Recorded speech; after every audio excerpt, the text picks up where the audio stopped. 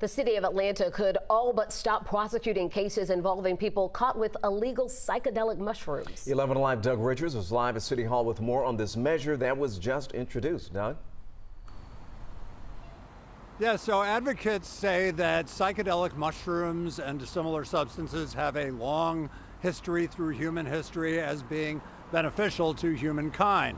They blame the 1960s and 70s for coming along, backlash against the Vietnam War protests and such, causing Congress and President Richard Nixon to enact the Controlled Substances Act.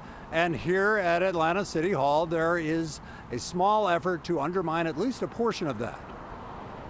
Psychedelics were seen as a threat. Simone Gerges was among the folks asking the city council to stop enforcing laws that turn users of psychedelic mushrooms into criminals. They want the city to deprioritize prosecutions and let folks use the power of mushrooms and other entheogenic fungi to heal.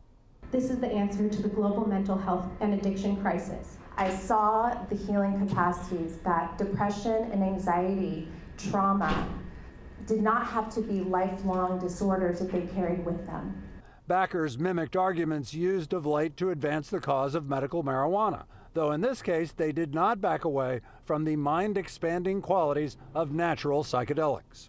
These traditional medicines truly change the neural pathways within our brains. They target the roots of so many imbalances rather than simply treating the symptoms.